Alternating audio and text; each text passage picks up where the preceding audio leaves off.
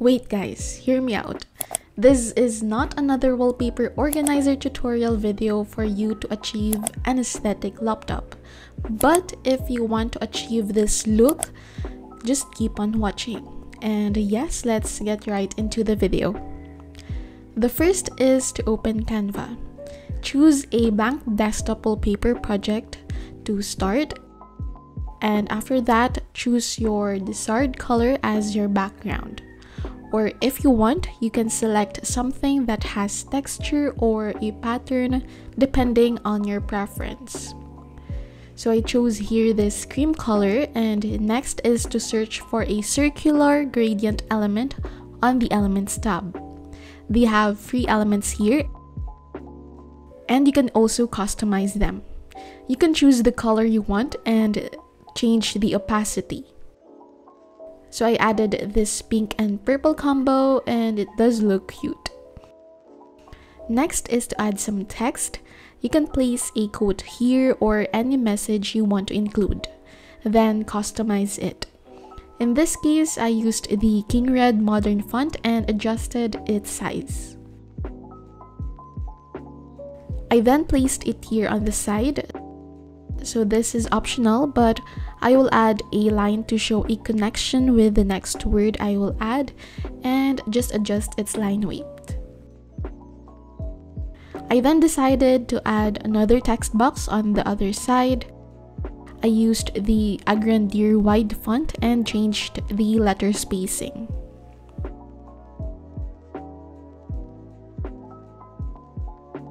Before I proceed, you can not only customize your laptop, but you can also customize your tumbler or other things with this HTVRont vinyl stickers. So I got them from HTVRont and this is their self-adhesive vinyl and it comes in different colors. You can stick this on wood, glass, metal, ceramics, and plastics. Here I used it to decorate this glass, but you can also use it to customize your other stuff. It is easy to use and it is very durable. Once you have printed your design, you need a Cricut machine to have the design you want. So here I have this city shadow design and next is to transfer it to a transfer sheet. Once you lay it down, scrape it so the design will transfer to this sheet Scrape this until you see the design fully stuck and next is to peel it off and attach it to your item. So in my case, I will place it on this glass and once you're okay with the placing, go over it and smoothen it out. Once the design sticks, you can now peel off the top sheet and you will have this customized glass.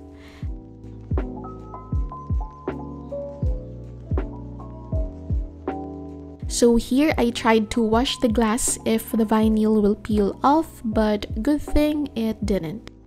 You can basically customize a different object, just make sure it's on a smooth surface and is free from dust. Again, they have different colors available in their shop. So if you want to try it and be creative, you can click on the link below. And yes, thank you to HTVRont for gifting these products. If you want to purchase and customize something, I have the link below in the description box. And let's now proceed with the video. So here I added this white frame which will serve as a frame for the apps I will include.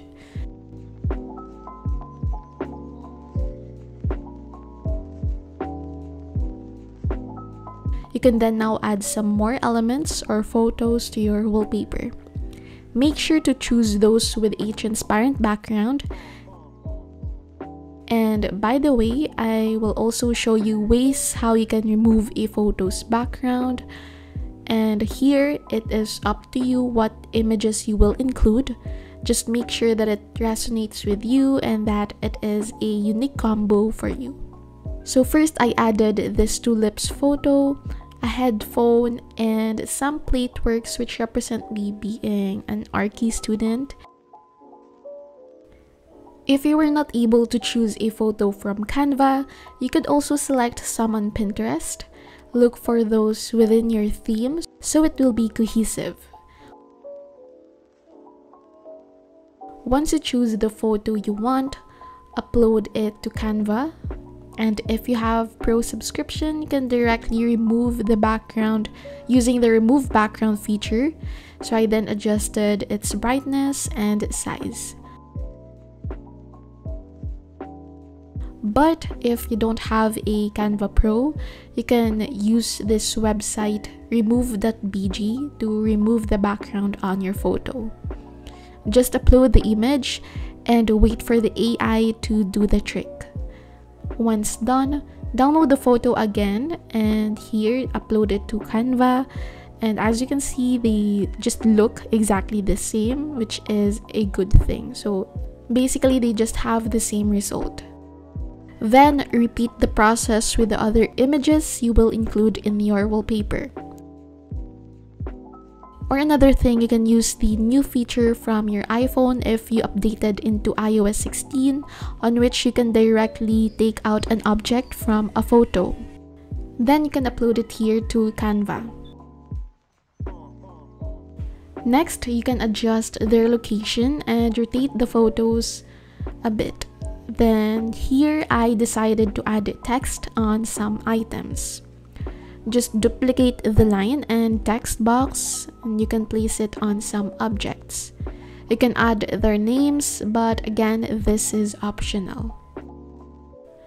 After that, go back to Pinterest and look for some aesthetic icons. So this will serve as the icon on the softwares you included on your desktop or the apps. The number of icons also depends on you. So you can add as many as you like, but don't overdo it. So once you choose some photos, upload them to Canva and repeat the process of removing the background. Again, you can use the Canva Pro feature or the remove.bg free website. So for you to know the size of the apps, you can screenshot your whole screen and paste it here to Canva. Make some necessary adjustments and organize the icons according to your liking. So I arranged them like this. And next, I decided to add a frame. You can add a photo here and it's either you use pictures from Pinterest or use your photo.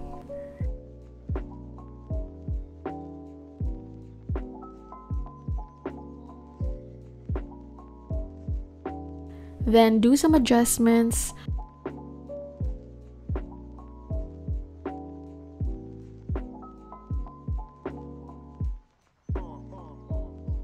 Once done, export the image as PNG and set it as your wallpaper.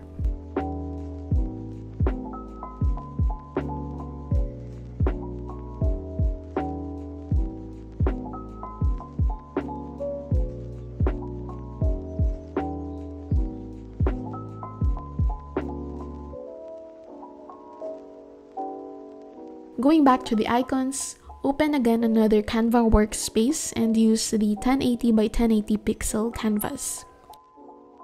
Paste the icons you placed on your wallpaper and maximize their sizes. Once you're done adjusting their dimensions, export the photos as PNG. On a new tab, look for a PNG to ICO converter. So I will be linking this converter I used and I will place it on the description box. Just select the files, wait for them to upload, and convert them to an ICO file. Once done, download the files to your computer. Going back to your desktop view, right click on it and on the View tab, choose the Align Icons to Grid option. Arrange the apps on your laptop. And when you're done, uncheck the Align Icons to Grid option. Highlight the apps and arrange them so they will look balanced. Repeat this with other apps. Now I will share with you how you can customize the apps icon. First is to right click on an app, choose the properties option under the shortcut tab and click on the change icon. Click on the browse option, select the ICO file of the photo and click OK. Repeat this to other apps